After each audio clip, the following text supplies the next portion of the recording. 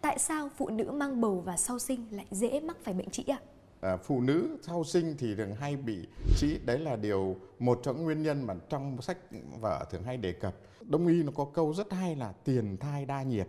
Tức khi mới có thai từ tháng thứ nhất thứ tư thì rất nóng do cái nội tiết thay đổi. Mà theo nguyên nhân của đông y thấp nhiệt lưu trú ở hạ trường sinh ra bệnh trĩ.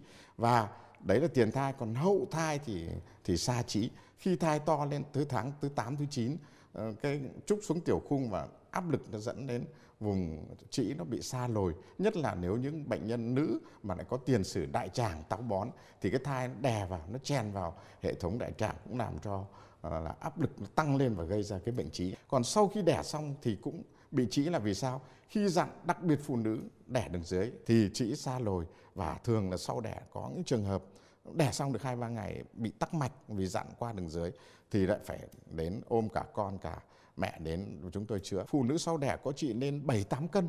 Bởi ăn dữ dội, mà ăn dội quá béo thì cũng sinh ra trĩ thai nó một số chị lại kiêng khem quá thì cũng gầy sút cây sút thì coi là cơ nhực nhão và cái lại gây táo táo cũng lại sinh ra trí.